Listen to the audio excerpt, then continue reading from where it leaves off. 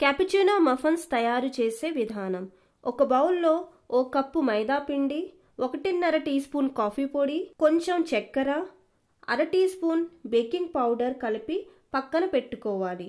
ఒక బౌల్లో గుడ్డుని గిలక్కొట్టి పాలల్లో పోసి కలిపి వెన్న కూడా వేసి కలిపి బాగా మైదా పిండి మిశ్రమంలో కలుపుకోవాలి.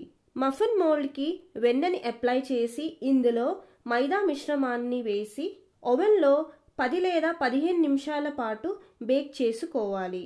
ఒక బౌల్లో క్రీమ్ చీజ్ చక్కెర కాఫీ పొడి కలుపుకోవాలి. ఇప్పుడు బేక్ అయిన మఫిన్స్ని కట్ చేసుకొని మధ్యలో ఈ క్రీమ్ని పెట్టి సర్వ్ చేసుకోవాలి.